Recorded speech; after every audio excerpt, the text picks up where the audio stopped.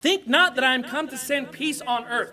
I came not to send peace, but a sword. Why aren't you like Jesus? Well, did you read what Jesus said? He's like, I'm not coming to bring peace on the earth. Now, obviously, peace on earth, goodwill toward men in regards to salvation. But this this utopian, you know, Rodney King, can we all just get along type society doesn't exist. He says, I'm bringing a sword. And what does the sword do? It's divisive. It divides. It lets you know who's right, who's wrong. It lets you know who you should listen to and who you shouldn't. It lets you know who you should have fellowship with and who you should not. It divides. He that loveth father or mother more than me is not worthy of me, and he that loveth son or daughter more than me is not worthy of me. And he that taketh not his cross and followeth after me is not worthy of me. Oh, Jesus, that's a little dis- divisive there. Yeah, well, he didn't come to bring peace. He came and he brought a sword. It's meant to divide. The Bible divides. So, this fallacy of peace on earth where we can just all get along, we need to make sure we just tolerate one another, don't criticize other churches. It's all about Jesus, man. And, you know, this dovey bubble Christianity is not biblical. Now, look, I'm not saying that there is no such thing as peace on this earth for us as Christians. But here's the thing God offers peace, but it's on his terms.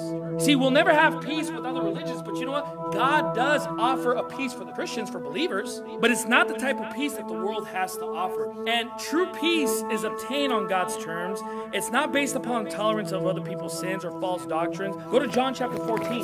Look what it says here in verse 27. It says, Peace I leave with you, my peace I give unto you, not as the world giveth, give I unto you. Let not your heart be troubled, neither let it be afraid. You see, the world does offer peace, doesn't it? But how do you get peace to the world? Oh, you know, getting a bunch of possessions, making more money, drinking, substance abuse, partying. They offer all these all these avenues of sinful manners of fornication, adultery. Oh, you can get peace by smoking pot or by drinking on a daily basis or hanging out with these types of people. This is the peace. No, actually, that's the peace that the world giveth. And Jesus said, My peace I leave with you, not as the world giveth, because the world is offering a form of peace, but it's not the right type of peace. And in fact, when you give yourself over to those things, you come out understanding, well, you know what? This is not what I thought it was going to be. This is destroying my life. This is destroying my family. This is destroying my wife and my children and the future generations. There's no peace in this. A peace that God is offering. Go, go with if you would to Romans chapter number 5. Let me start off by saying that God wants the world to be reconciled to Him through His Son. So, in order for us to have true peace, first of all, we got to be reconciled. We have to have peace with God, and that is through salvation. Bible tells us in Colossians 1:21, and you that were sometimes alienated and enemies in your mind by wicked works, yet now hath he reconciled in the body of his flesh through death, to present you holy and unblameable and unreprovable in his sight. Look at Romans 5 verse number 1. Therefore, being justified by faith, we have peace with God through our Lord Jesus Christ, by whom also we have access by faith into this grace wherein we stand and rejoice in hope of the glory of God. You see, true peace comes when we get saved. We're no longer in enmity with God. That's true peace. Oh, but you know, the way they, you know, that person believes his religion is how he's going to get to heaven, and the way you do, you know, I just accept both as long as you're at peace with that. No, you need to be at peace with the true God. And you know what? Jesus said, I am the way, the truth, and the life. No man cometh unto the Father but by me. And look, the, the worst enemy you could ever have is God. But you know what? God commended his love toward us, and that while we were yet sinners, Christ died for us, right? Because we want to reconcile them. Look at verse 14. Wherefore remember that ye being in time past Gentiles in the flesh, who are called uncircumcision by that which is called the circumcision of the flesh made by hands, that at that time ye were without Christ, being aliens from the commonwealth of Israel, and strangers from the covenants of promise, having no hope, and without God in the world. But now in Christ Jesus, ye who sometimes were afar off are made nigh by the blood of Christ, for he is our peace. We're human, but the Bible tells us to, as much as lies within us, to live peaceably. We need to try to make sure that we try to get along with people as much as we possibly can. And the way we do that is by working on our own personality flaws. You know, if there's certain characteristics or attributes that may be offensive to people, or maybe you come off as aggressive or abrasive, maybe those are some things you should change in order to have peace with them. But if people can't have peace with you, no matter what happens, then guess what? You go find another friend, right? As much as lies within you. But the Bible also tells us that he, God wants us to have the peace of God ruling in our hearts. And that's really the type of peace that we should be pursuing this side of eternity is the peace of God that rules in our hearts. Because if you have peace in your heart, you can deal with any circumstance. You can deal with any situation, any trial, any tribulation. Why? Because you have the peace of God.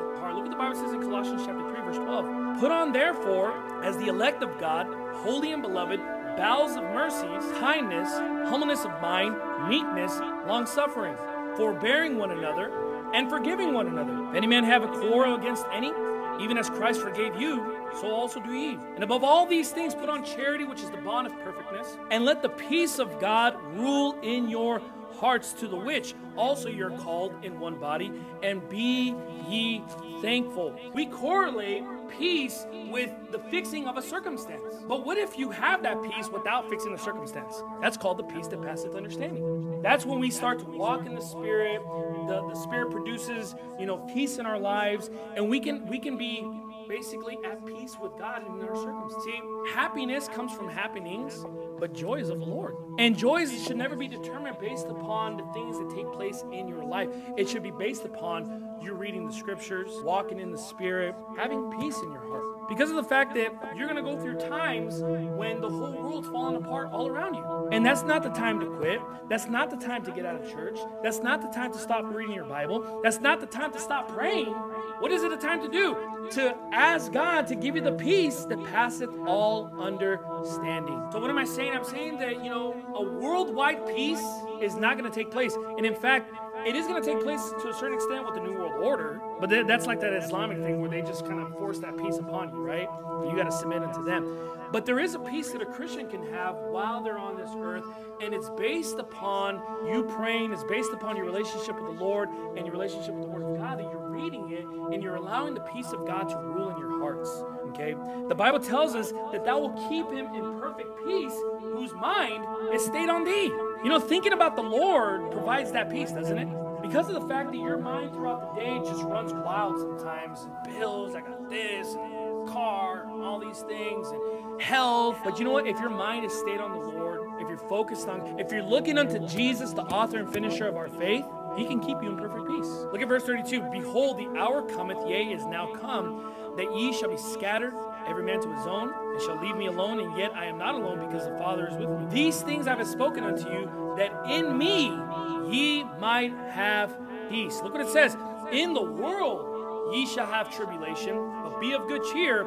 I have overcome the world. Now that kind of seems like it wouldn't really go together. In me ye shall have peace, but in the world ye shall have tribulation. Those are polar opposites. Well, that goes to show you that the peace of God is not determined by what takes place in the world. Because he's saying you can have the peace of God, but just understand that in the world ye shall have tribulation. So we can look at this verse like this and clearly see that the peace of God that God offers is not unified religion. It's not, hey, let's coexist. It's not, hey, let's just all get along. It's when we are actually in submission to God.